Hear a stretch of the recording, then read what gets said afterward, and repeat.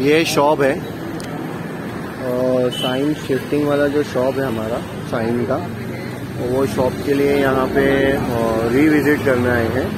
और पहले ये शॉप देखा था। शॉप का स्ट्रक्चर हालत जो स्ट्रक्चरल वर्क था, वो काफ़ी मतलब ख़राब था। लेकिन ओनर जो है, वो सारी चीज़ें करने के लिए रेडी है।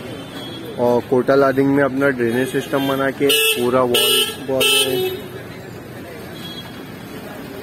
पूरे जो वॉल है, वो वॉल के पूरे प्लास्टर करके लिए, करके देने के लिए और आई भीम लॉफ कोटा आदि का लॉफ डालने के लिए। ये जो रोड है, ये रोड से सीधा रास्ता राइट मारेंगे तो राइट मार के फिर से राइट मारेंगे तो अपने आउटलेट के लिए रास्ता जाएगा, जो मोनो रेल वाला मोनो रेल लाइन का रास्ता है, वहाँ से राइट मारेंगे तो आउटलेट के लिए लेफ़्ट मारेंगे, सीधा जाके हाईवे पे साइन स्टेशन के लिए रास्ता जाएगा।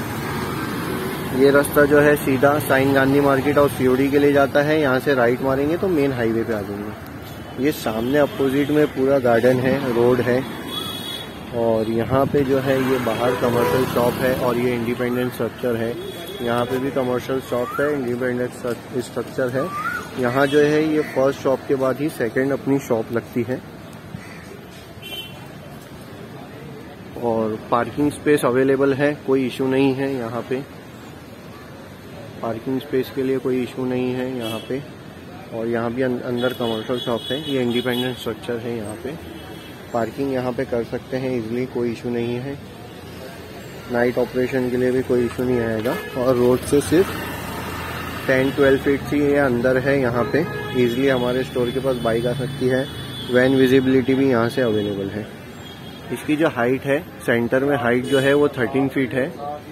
और फ्रंट में जो हाइट है, वो 11 फीट है। 11.8 फीट है।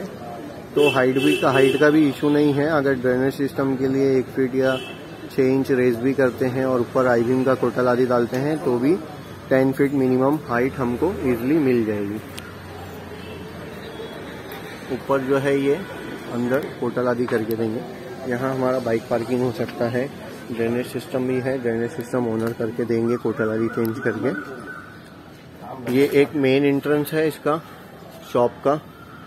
और यहाँ पे टॉयलेट वगैरह है। तो वो जो टॉयलेट वगैरह है वो अंदर से रिमूव करके ये सारी चीज़ें रिमूव करके इसको अच्छे से वो प्लास्टरिंग कर देंगे। प्लास्टरिंग रिमूव करके। और ये जो है हाँ, ये यहाँ पे जो है ये जो पूरा प्लास्टरिंग करना है वो भी पूरा प्लास्टरिंग रिमूव करके अच्छे से पूरा प्लास्टरिंग रिमूव कर देंगे। ये भी वो ब्रेक डाउन करके पूरा दे देंगे। और यहाँ पे ये जो है बैक डोर है, ये शॉप जो है 640 कारपेट की है 120 कारपेट का ये ए स्क्वायर एरिया है।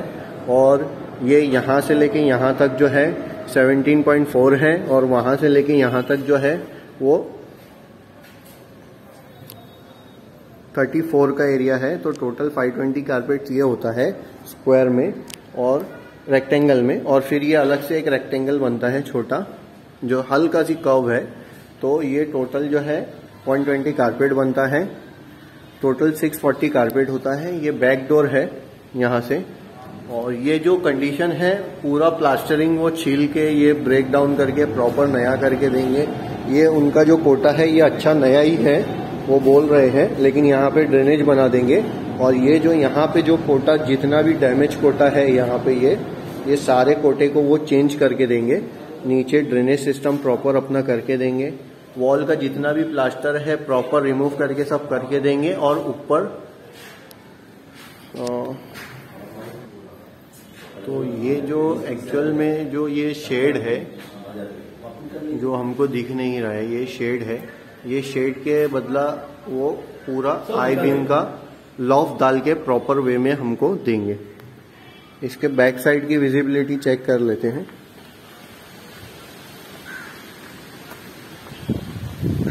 ये जो विंडो है, ये विंडो से आगे ही ये जो क्रैक्स दिख रहा है, वहाँ से लेके ये पूरा आगे तक अपना शॉप है। ये एरिया जो है, यहाँ से यहाँ तक का जो हमने बताया था, थोड़ा एक्सटेंड होता है स्क्वायर रेक्टेंगल शेप में।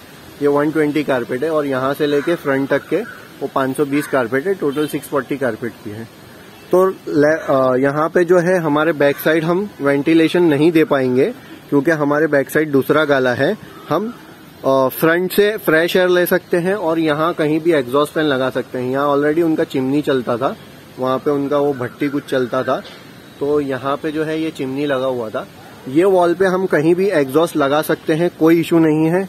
ये जो शेड का स्ट्रक्चर है ये प्रॉपर वे में उनके पास हाइट है वो कोटल आदि हमको डाल के देंगे। हम अगर उनसे डील कर लेते हैं तो। और डील नहीं भी होती है तो उन, उनको इंटरनल कोटा और अंदर का पूरा प्लास्टरिंग करना ही है। और यहाँ ये वॉल पे हम कहीं भी निकाल सकते हैं कोई इशू नहीं होगा। क्योंकि यहाँ पे जो रेसिडेंशियल है वो एरिया दूर है। यहाँ पे जो है ये पूरा ओपन स्पेस टाइप एरिया है। यहाँ पे ये बिल्डिंग बंद पड़ी हुई है, ओपन स्पेस एरिया है और यहाँ पे जो है ये बाजू में, अगर हम वहाँ छोड़ते हैं तो यहाँ किसी को डिस्टरबेंस नहीं होता है। ऑलरेडी वहाँ पे भट्टी चलती थी वहाँ पे और ये जो है यहाँ पे ये स्ट्रक्चर है इंडिपेंडेंट जो हमने आगे देखा कमर्शियल चल रहे हैं। तो यहाँ अगर हम एग्जॉस्ट फ़ैन छोड़ते हैं तो कोई प्रॉब्लम नहीं होगा। प्रॉपर वे में फ्रंट से हम फ्रेश एयर ले सकते हैं और यहाँ पे एग्जॉस्ट फ़ैन छोड़ सकते हैं। तो इसका एक जो है बैक हैंड विज़िट करके इंजीनियर के पॉइंटर बना के हमको ओनर को देना पड़ेगा। तो ओनर पे हमको सारे पॉइंटर क्लियर आउट करके देगा क्योंकि ओनर इज़ रेडी टू पूरा वो चेंज करने चेंज करके देने के लिए रेडी है। लॉफ डाल के और कोटा करके और प्लास्टरिंग पूरा वर्क करके।